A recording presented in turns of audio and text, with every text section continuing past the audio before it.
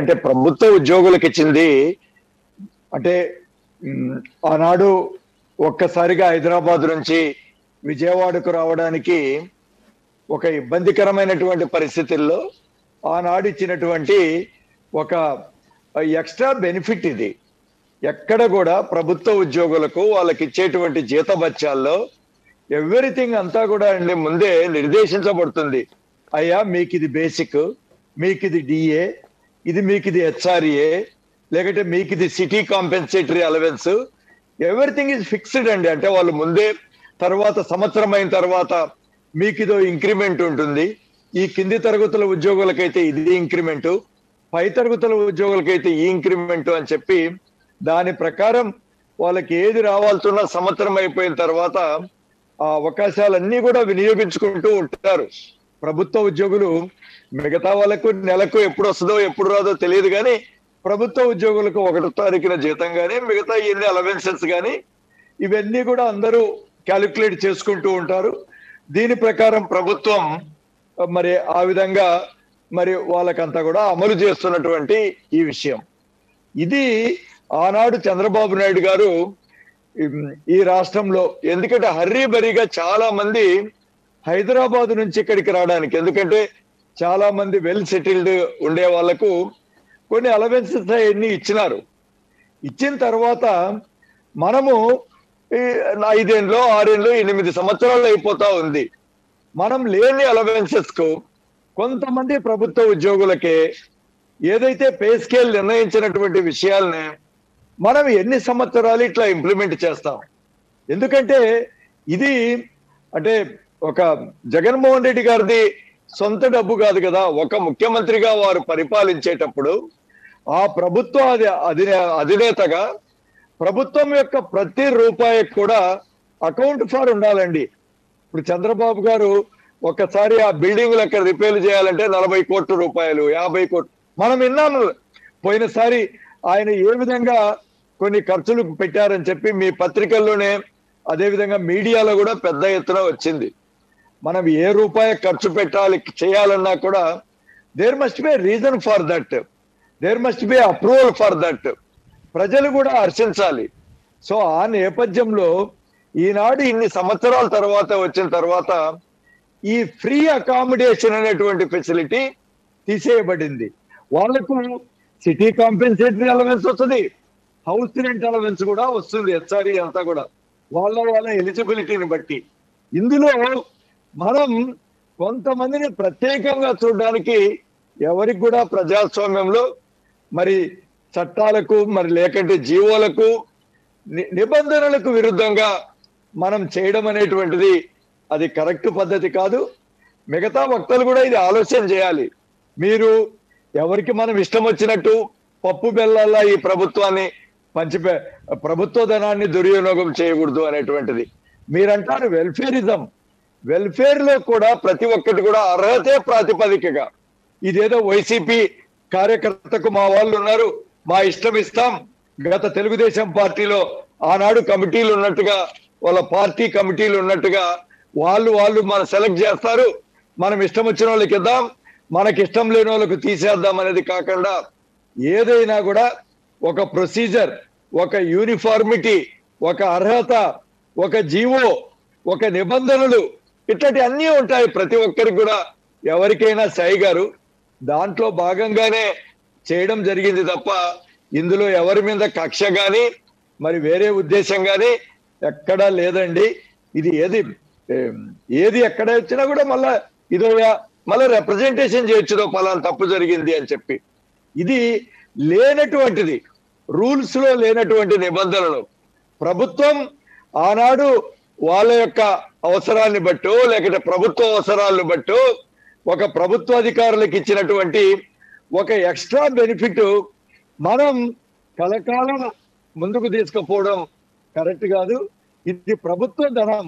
ప్రభుత్వ ధనాన్ని ఎవరైనా కూడా అసలు ఫైనాన్షియల్ కోర్టులో చెబుతుంది చెప్తుంది సై గారు. You must spend the amount government amount as prudently as possible you must be a prudent person in spending the government revenue అనేది గవర్నమెంట్ అమౌంట్స్ అనేది చాలా చాలా క్లియర్ కట్గా నిర్దేశించబడింది. కాబట్టి మనందరం కూడా అప్రిషియేట్ చేయాలి అలాంటి ఇలాంటి విషయాల్లో. థ్యాంక్ యూ సాయి గారు. ఇక్కడ ఒక పాయింట్ అండి. ఒక పాయింట్ ఇప్పుడు. సాధారణంగా.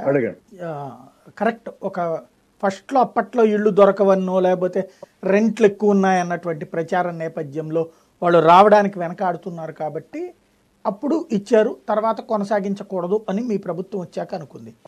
అప్పుడు ముందు నుంచి ఇదిగో ఇంకొక మూడు నెలలే ఉంటుంది అంటే ఫస్ట్ ఒక ఆరు నెలలే ఉంటుంది లేదా మూడు నెలలే ఉంటుంది.